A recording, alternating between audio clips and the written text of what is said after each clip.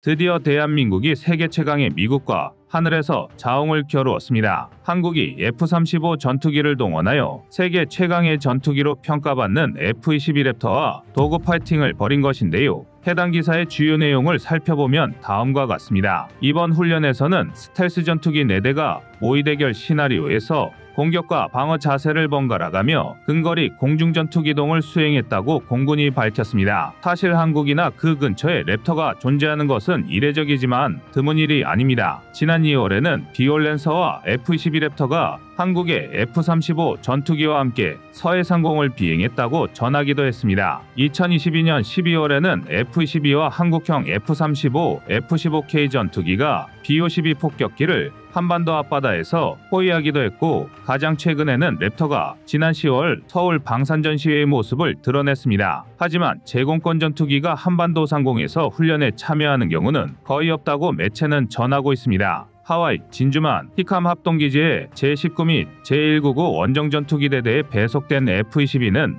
4월 중순부터 일본 카데나 공군기지에서 운용되고 있습니다. 그런데 기사 내용처럼 우리 대한민국 공군이 세계 최강의 F-22 랩터와 근접전을 벌인 것은 한국 공군 역사 이래 최초의 일입니다. 미국은 지금까지 프랑스, 독일 정도의 군사 강국들을 제외하면 근접전 훈련에서 F-22 랩터를 출격시키지 않는 나라였습니다. F-22 랩터의 성능이 너무도 막강해서 어지간한 공군력의 국가들에겐 근접전 상대로 출격시킬 필요성을 못 느꼈기 때문입니다. 그런데 이번에 다른 군사 강국과 달리 한국 공군을 상대로 F-22 랩터를 동원해 근접 전 훈련을 벌였다는 것은 그 의미가 상당히 남다를 수밖에 없는데요. 이는 F-35를 운용하는 우리 대한민국 공군은 그만큼 미국 공군의 근접 전 훈련에 최적화된 기량과 전투력을 보유하고 있다는 것을 의미합니다. 그리고 대한민국의 입장에서도 이번 훈련은 상당히 많은 것을 남겼는데요. F-22 랩터를 직접 상대하면서 5세대 전투기에 대한 대응 방법과 다양한 전술 상황에서의 귀중한 데이터를 쌓을 수 있었습니다. 그리고 이는 곧 대한민국의 적성국들에게 날리는 강력한 경고의 메시지가 되었습니다. 사실 대한민국 공군력의 발끝에도 못 따라가는 북한은 F-35가 출격만 해도 김정은이 지하 벙커로 숨어들기 바쁜 상황입니다.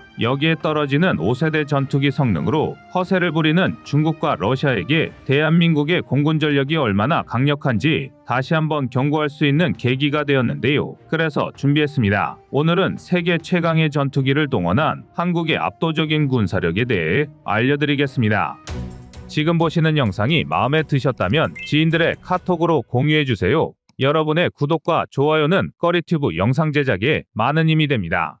한국과 미국이 5세대 스텔스기를 동원하여 근접전을 벌였다는 소식은 전 세계의 주목을 받았습니다. 외신에서도 한국과 미국의 근접전을 보도하였는데요. Air & Space Forces Magazine의 보도에 따르면 한국과 미국은 4대의 스텔스기를 동원하여 공격과 방어를 번갈아 진행하는 훈련을 수행했다고 전파했습니다. 또한 Trendy Digest에서도 현대공중전의 영역에서 F-35와 F-22가 스텔스 전투력의 정점을 대표한다면서 두 전투기가 한반도 상공에서 맞붙은 이번 훈련을 두고 두 거인이 다시 한번 각광받게 되었다는 표현을 사용했습니다. 그만큼 한국의 F-35와 미국의 F-22가 근접전을 벌였다는 사실은 전 세계 군사 전문지와 관계자들의 이목을 집중시키는 사건이었는데요. 해당 훈련에서는 양국 전투기가 공격과 방어 역할을 번갈아 맡으며 다양한 상황을 가정하여 진행되었습니다. 그리고 이러한 훈련은 북한보다는 중국과 러시아를 직접적으로 겨냥한 훈련으로 분석할 수 있는데요. 5세대 전투기는커녕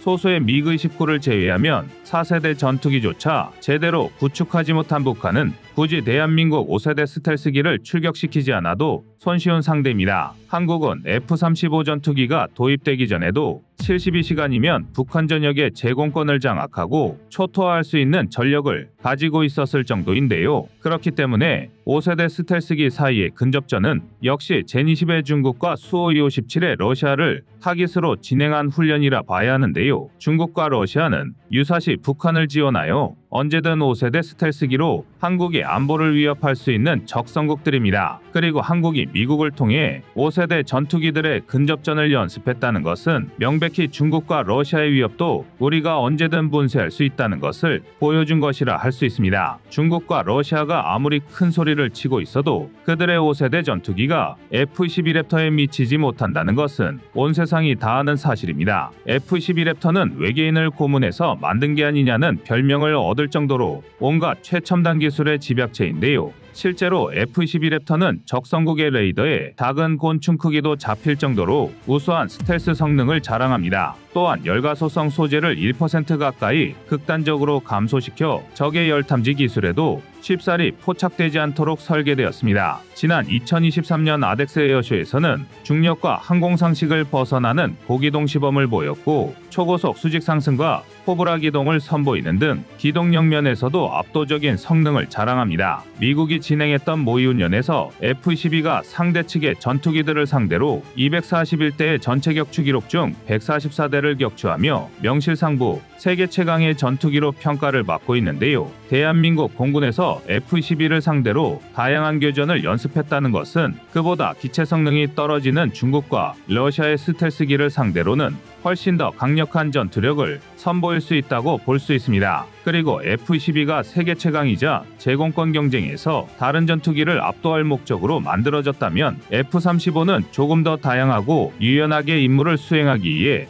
만들어졌습니다. 대한민국은 중국, 러시아, 일본 등 주변 국가들의 스텔스기 개발에 따라 한국도 스텔스 전투기의 필요성을 느끼고 2014년도에 40대를 도입하기로 결정했는데요. 대한민국 역시 F-35의 수입을 통해 공군에서 운영하고 있는 만큼 향후 다양한 임무 수행에서 활약이 기대되는 바입니다. 대한민국 전투기는 약 394대를 보유하고 있으며 동아시아 3국 중 중국 다음으로 가장 많은 숫자를 보유하고 있습니다. 다만 F4 팬텀의 퇴역에 따라 숫자는 줄어들 전망입니다. 이에 따라 전투기 보유량 증대를 위해 2028년까지 현재 보유 중인 40대의 F-35에 추가로 20대를 더 도입할 예정입니다. 대한민국은 현재 F-35 전투기를 전략적으로 운영하고 있는데요. 대한민국 공군은 F-35A 전투기를 적극 활용하면서 삼축 체계 중 kill chain의 핵심 구성 요소로 공중우세를 확보하고 있습니다. 특히 북한의 위협에 대응하기 위해 중요한 역할을 하고 있습니다. 그리고 최근에는 북한의 핵미사일 위협을 억제하기 위한 목적으로 F-35A를 핵무기를 탑재할 수 있는 이중용도 전투기로 개조해야 한다는 주장이 나오고 있습니다. 그리스와 비슷한 형태로 전술핵은 배치되어 있지 않지만 재래식 무기와 핵무기를 언제든 모두 사용할 수 있는 DCA로 운영하기만 해도 북한에게는 큰 위협과 압박을 줄 것이라는 분석인데요.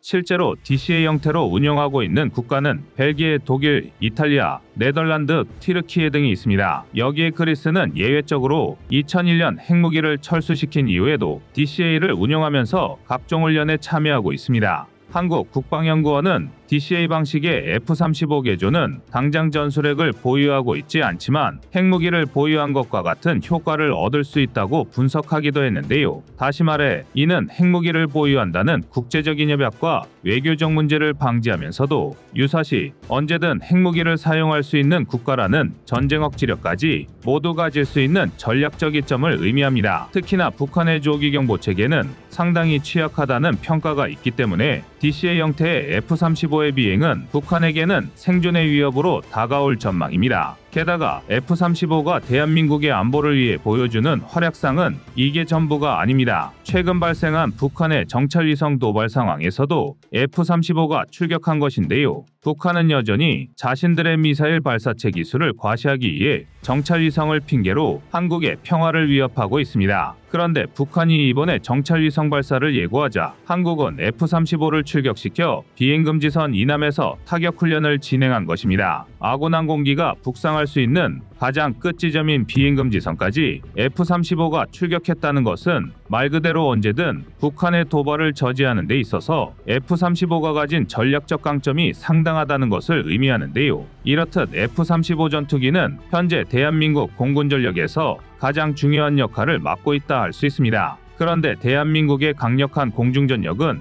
여기서 끝나지 않습니다. F-35에 필적할 수 있는 막강한 전투기들이 계속해서 추가되고 있습니다. F-35의 20대 추가 도입과 함께 드디어 KF-21이 본격적으로 실전 배치를 준비하고 있는데요. 강릉 공군기지에 KF-21이 배치된다면 한국은 지금보다 훨씬 더 강력한 공군 전력을 기반으로 주변 국가의 도발을 억제할 것입니다. 현재 대한민국의 KF-21은 4.5세대 전투기 중 최고의 성능을 가지고 있다는 평가를 받습니다. 그리고 KF-21은 5세대 스텔스기와 함재기 버전으로 개량할 계획도 가지고 있는데요. 한국은 과거 한국형 항공모함에 탑재할 전투기로 F-35의 수직이 착륙 버전인 F-35B를 검토했었습니다. 이미 F-35 계열의 전투기들이 우월한 성능을 입증한 상황에서 F-35B가 단거리 이륙 및 수직 착륙이 가능하다 보니 F-35B가 유력한 함재기로 점쳐졌었는데요. 그러나 최근에는 KF-21의 함재기 버전인 KF-21N이 한국형 항공모함에 적합한 전투기로 평가를 받고 있어 기대를 모으고 있습니다. 또한 KF-21은 내부 무장창 개량을 통해 5세대 스텔스기로 개량을 준비하고 있는데요. 해외 군 전문가들은 이미 지금도 스텔스기 바로 아래 단계의 레이더 피탄 면적을 가지고 있는 KF-21이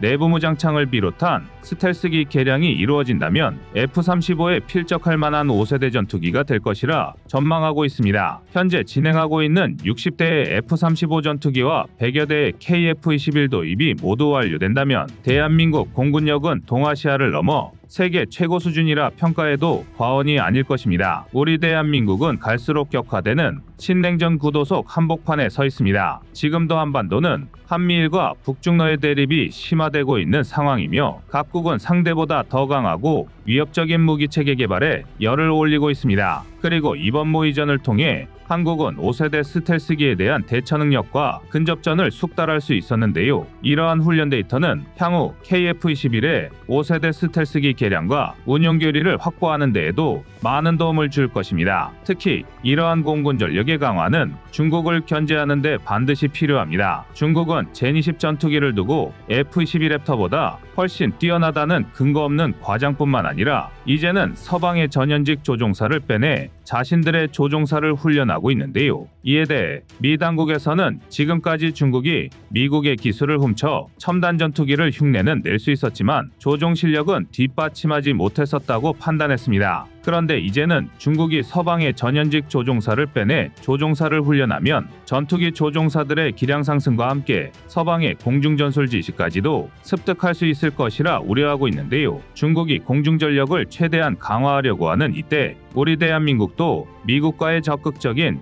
연합훈련을 통해 5세대 전투기의 다양한 전술을 시험하고 적성국들과의 제공권 경쟁에서 밀리지 않을 수 있는 대비가 절실히 필요해 보입니다. 여러분의 구독과 좋아요가 꺼리튜브 운영에 많은 힘이 됩니다.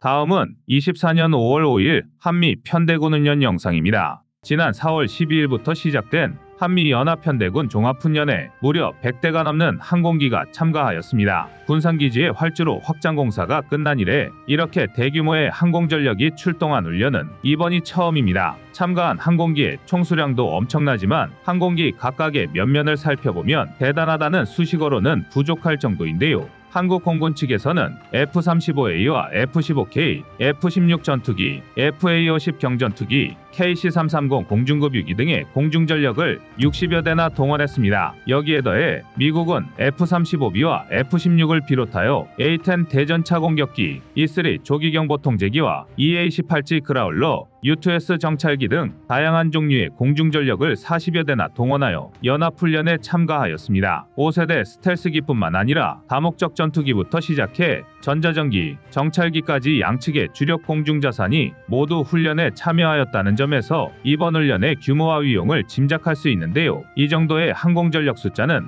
유럽의 군사강국들과 비교해도 한 나라의 공군전력의 30% 내외를 차지할 수 있는 전력입니다. 반면 북한은 4세대 전투기도 겨우 미그-29 한 종에 불과하며 그 밑으로는 여전히 2, 3세대 전투기를 운용하고 있어 비교조차 민망한 수준입니다. 심지어 미그-29조차도 1970년대에 초도 비행을 시작해서 1980년대 초반에 도입된 냉전 시대의 유산입니다. 더 쉽게 말하자면 이번 훈련에 참여한 한미연합의 공중전력만 하더라도 불과 수시간 안에 북한의 공중전력을 초토화하고 남을 정도의 수준을 갖췄다고 볼 수 있습니다. 압도적인 한미연합의 공중훈련 때문에 북한은 이미 앓는 소리를 내고 있을 정도인데요. 이번 한미연합 편대군 종합훈련은 한국과 미국의 공군이 가진 5세대 자산통합과 정밀타격 능력 향상, 대규모 낙하 훈련, 지대공 및 공대공 위협에서의 작전 수행 등이 핵심 목표입니다. 군 전문가는 이러한 훈련들이 유사시 대북 임무 수행을 염두에 둔 것으로 분석하고 있습니다. 대표적으로 이번 훈련에는 북한의 이동식 발사 차량에 대한 정밀 폭격 훈련이 주요 목표인데요.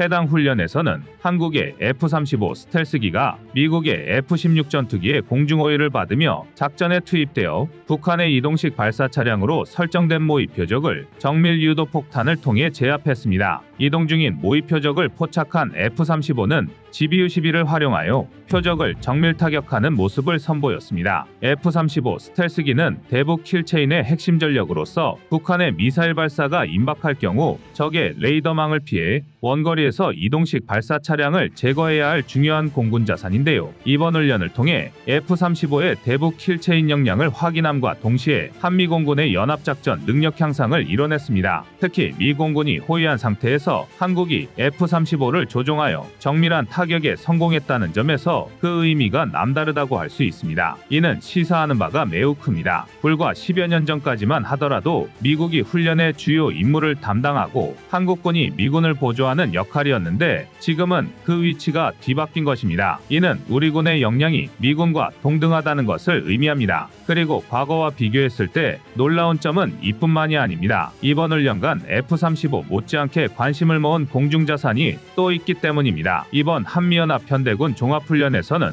하늘의 암살자로 불리는 MQ-9 리퍼가 처음으로 훈련에 참가하여 많은 사람의 시선을 집중시켰는데요. MQ-9 리퍼는 최대 무장 적재 시 14시간 동안 비행할 수 있으며 헬파이어 미사일과 GBU-12 레이저 유도폭탄 등을 장착할 수 있습니다. 미국이 이란의 군부 1인자 바셈 솔레이마니를 제거하는 데 투입하여 성능을 입증한 무인 공격기입니다. 이번 훈련에서 MQ-9 리퍼는 F-35 전투기들과 한 팀을 이뤄 유무인 복합작전을 수행하며 적의 지대공 위협을 무력화시켰습니다. 이는 크게 두 가지 측면에서 대한민국에게 의미 있는 상황입니다. 첫 번째는 적성국에 도발이 있을 시 언제든 한미연합 공군이 주요 지휘소와 도발 지역을 타격할 수 있다는 점을 대외적으로 보여주었다는 것입니다. MQ-9은 솔레이만이 암살 작전 이외에도 지하디 존을 비롯한 IS의 테러리스트들을 상대로 여러 작전에 동원되어 많은 전과를 올린 만큼 주요 인물을 제거하는데 세계적으로 정평이 나 있는데요. 이러한 MQ-9이 한미연합 편대군 종합훈련에서 지상 타격 능력을 보여줌으로써 군사적 도발을 일삼는 주변의 적성국들에게 엄중한 경고를 전달한 것입니다. 두 번째는 유무인 복합체계의 실효성 을 직접 확인할 수 있었다는 점입니다. 현재 대한민국 공군은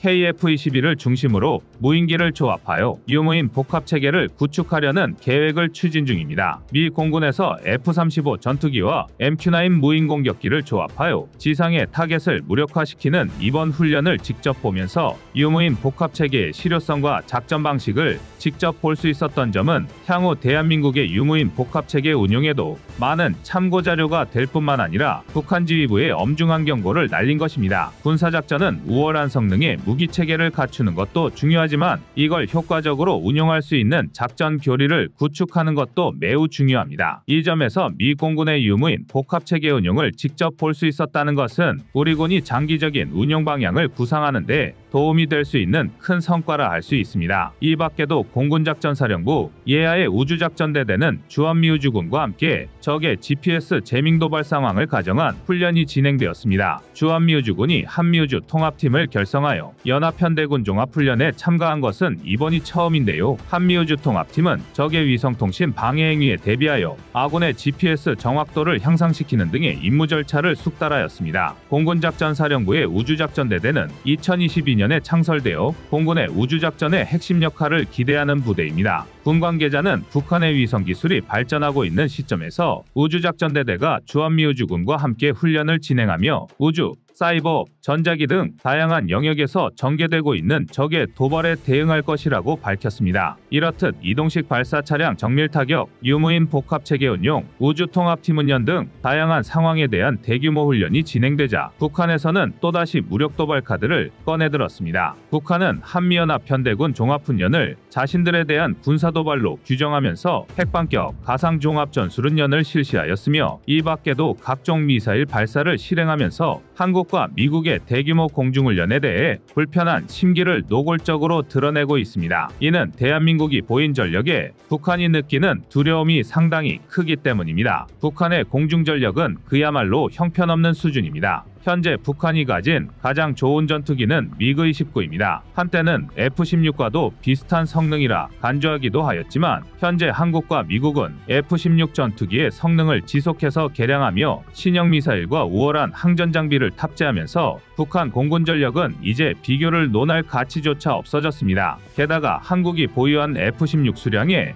25%밖에 되지 않는 보유량을 가지고 있어 양에서도 한미 공군과 압도적인 차이를 보입니다. 이뿐만 아니라 북한 공군의 주력은 그 아래 수준의 미그 23인데요. 그런데 미그 23은 대한민국에 퇴역하는 F4에도 유의미한 우위를 점하지 못하는 수준이니 북한의 공군은 한미 공군의 F16만 출격하더라도 두려움에 떨 수밖에 없는 것이 현실입니다. 주한미군이 군산기지에 F16을 배치하고 있는 것도 이러한 이유 때문입니다. 군산에서 평양까지는 약 350km에 불과하여 미군의 F16이 가지고 있는 550km의 전투행동 반경 안에 평양이 들어와 있기 때문에 만약 북한이 군사적인 위협을 가하려고 한다면 언제든 F16을 출격시켜 제압하겠다는 미군의 의지가 담겨 있는 것입니다. 군산기지가 한미연합편대군 종합훈련의 장소로 선정된 것도 북한이 도발한다면 즉각적인 보복 대응을 하겠다는 의미이기도 합니다. 이외에도 F-16보다 더 강한 상위 기종인 F-15와 F-35까지 동원되었으니 지금 북한은 심각한 두려움을 느끼고 있을 것입니다. 그렇기 때문에 겉으로는 허세를 부리며 각종 미사일 발사를 통해 불편한 심기를 드러내고 있는 것인데요. 지금이야 각종 미사일과 핵실험 등의 군사적인 행동을 과시하고는 있지만 이번 한미연합 편대군 종합훈련을 통해 그들이 자랑하는 미사일 발사체들은 F-35가 출격하면 언제든 가루로 만들어버릴 수 있습니다. 만약 이번 훈련에 동원된 전투기, 전자전기, 공중급 유기 등이 그대로 실전에 투입된다면 북한의 공군 전력과 지상의 미사일 시설들은 단 하루도 버티지 못하고 종말을 맞이할 것입니다. 북한의 우방이라 할 수 있는 러시아와 중국의 공중 자산들이 지원을 올 수도 있지만 그들의 전력도 별다른 위협이 되지는 못합니다. 러시아의 공군은 이미 우크라이나와의 전쟁을 통해 그간의 전력 평가가 거품이었다는 게 만천하에 밝혀졌고 중국 역시